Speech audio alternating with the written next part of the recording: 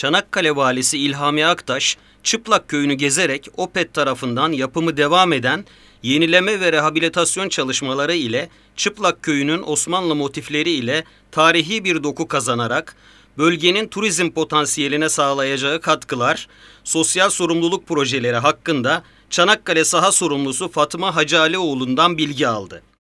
Aktaş incelemeleri sırasında OPET'in Çanakkale Halk Eğitim Merkezi işbirliği ile köy halkına yönelik açılan kurs merkezlerini de gezerek kursiyerlere çalışmalarında başarılar diledi.